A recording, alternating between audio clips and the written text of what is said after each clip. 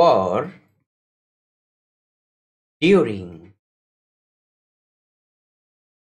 For during এই দুটো word হলো প্রিপোজিশন আজকে তোমরা শিখতে পারবে যে ফর আর ডিউরিং এই দুটো ওয়ার্ড টাইমের ওপর বেস করে কীভাবে ব্যবহৃত হয়, সময়ের ওপর নির্ভর করে, সময়, সময়ের ওপর বেস করে এই দুটো ওয়ার্ডের এই দুটো প্রিপোজিশনের ব্যবহার। আমরা তো জানি এমনি ফর মানে জন্য। কিন্তু এই ফর সময়ের ক্ষেত্রে কীভাবে ব্যবহৃত হয়, তা আজকে তোমরা শিখতে পারবে। তাহলে আমরা কিছু উদাহরণের মাধ্যমে ফর এবং ডিউরিংয়ের যে ব্যবহার, সেটা ভালোভাবে বুঝে নেব।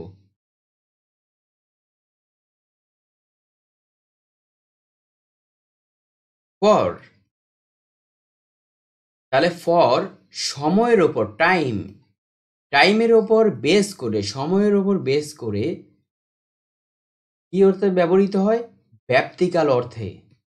ব্যাপ্তিকাল ব্যাপ্তিকালটা কি? যে কোনো একটা কাজ কিছু সময় ধরে হচ্ছে।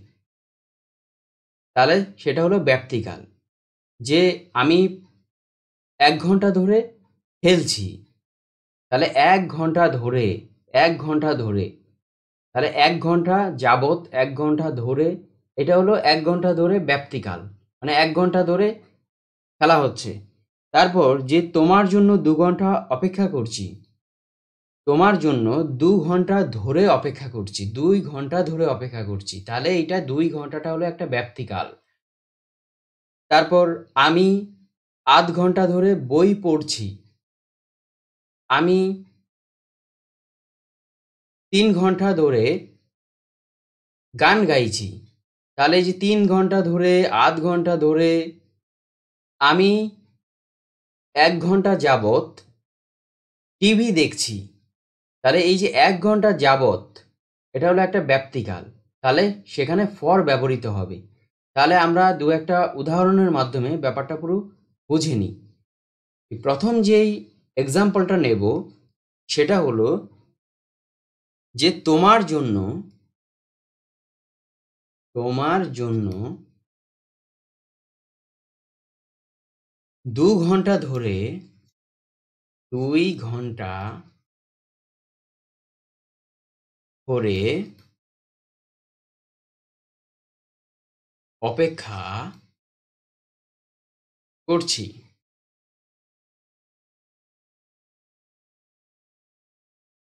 তোমার জন্য দুই ঘণ্টা ধরে অপেক্ষা করছি। তাহলে এটার ইংলিশ যখন করব, তাহলে কি হবে? দুই ঘণ্টা ধরে অপেক্ষা করছি মানে কি? আমি অপেক্ষা করছি। এখানে আমি লাগিয়ে দিই। আমি অপেক্ষা করছি। তোমার জন্য দুই ঘণ্টা ধরে আমি অপেক্ষা করছি। তাহলে কি হবে? I have been waiting for you for two hours. I have been waiting for you for two hours. For you, এখানে ফর মানে জন্য ফর ইউ তোমার জন্য এবার এই যে এখানে ফর টু আওয়ার্স আমরা যেই অর্থে আজকে ফরের যে সময়ের ওপর বেস করে যে ফরের ব্যবহারটা শিখছি যে ফর টু আওয়ার্স দুই ঘণ্টা ধরে ফর টু আওয়ার্স এই যে, এই ব্যবহারটাই আমরা আজকে শিখছি যে ফর সময়ের ব্যাপ্তিকাল অর্থে ব্যবহৃত হয়। তোমার জন্য দুই ঘণ্টা ধরে আমি অপেক্ষা করছি। I have been waiting for you for two hours আরও একটা এক্সাম্পল করি। যে আমি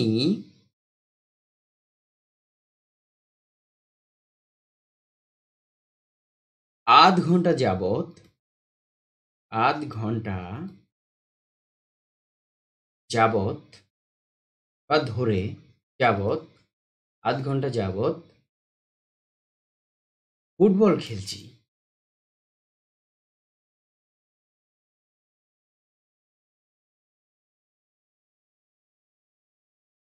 আমি আধ ঘণ্টা যাবৎ ফুটবল খেলছি। তাহলে এখানে কি হবে? যে I have been playing football for half an hour. I have been playing football for half an hour. Ami. আধ ঘণ্টা ধরে ফুটবল খেলছি। তাহলে এখানে কি? যে for half an hour half an hour মানে আধ ঘণ্টা। For for half an hour তাহলে আধ ঘণ্টা যাবৎ ফর হাফ এন আওয়ার আধ ঘণ্টা ধরে ফুটবল খেলছি। তাহলে এখানে ফর ব্যবহৃত হয়েছে আধ ঘণ্টা ধরে, আধ ঘণ্টা ধরে একটা কাজ চলছে, সে খেলা করছে আধ ঘণ্টা ধরে। তাহলে এই for half an hour for half an hour তাহলে এখানে আধ ঘণ্টা ধরে একটা ব্যাপ্তিকাল বুঝিয়েছে, তাহলে সেই অর্থে এখানে ব্যবহৃত হয়েছে। আরেকটা উদাহরণ করি। থার্ড এক্সাম্পল করি, যে তারা এক ঘণ্টা ধরে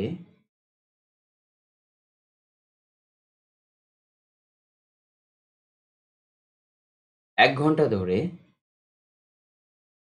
কাজটি করছে। কাজটি করছে কাজটি করছে। তাহলে কি হবে এখানে? যে they have been doing the work doing the work for an hour for an hour. তাহলে they have been doing the work for an hour এখানে এই যে দা ওয়ার্ক দা ওয়ার্ক মানে হলো কাজটি, কোনো একটা কাজকে নির্দিষ্ট করে বোঝাচ্ছে। ফর অ্যান আওয়ার এক ঘণ্টা যাবৎ। ফর বসেছে কেন?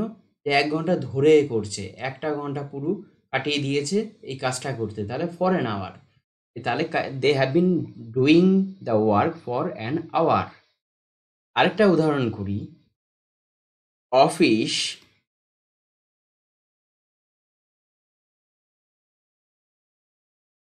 এক সপ্তাহ ধরে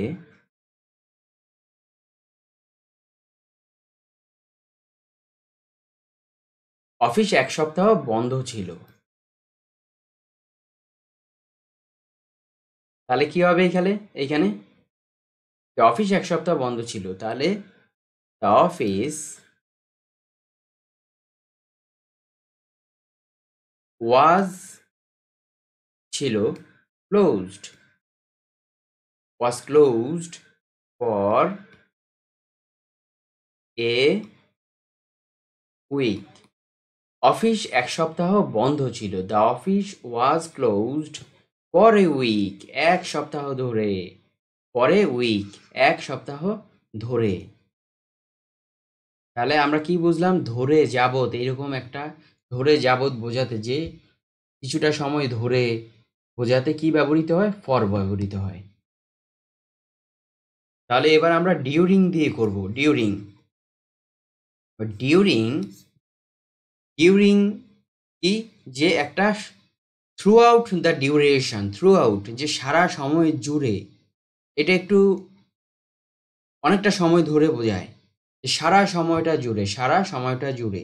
বা দু একটা উদাহরণ দিয়ে বোঝাই যে the prices the prices of essential commodities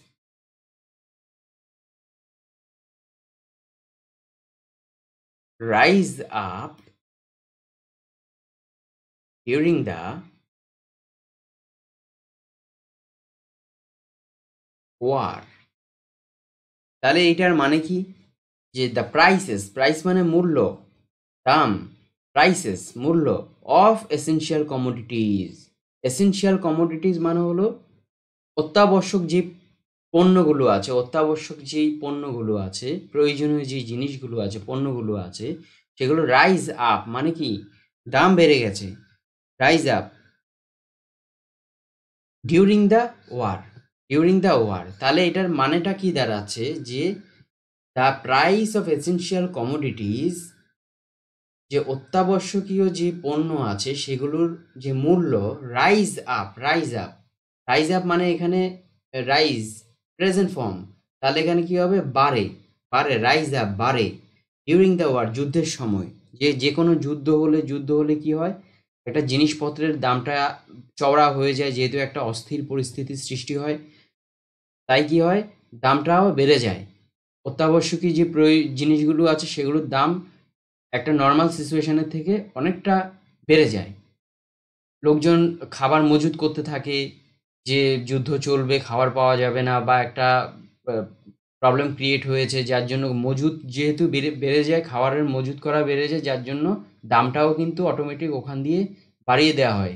বা বা যুদ্ধের জন্য অনেক কিছু ফসল ফলাতে পারে না বা অনেক কিছুতে প্রবলেম হয়। ট্রান্সপোর্টেশনের প্রবলেম হয়, অনেক কিছুতে প্রবলেম হয়, যার জন্য দামটা বেড়ে যায়। তাহলে কি? তাহলে the price of essential commodities rise up during the war যুদ্ধের সময় ডিউরিং দ্য ওয়ার তার মানে যতদিন ধরে যুদ্ধ চলবে, ওই পুরো ডিউরেশনটার কথা বলেছে, পুরো সময়টার কথা বলেছে, তাহলে কি হলো?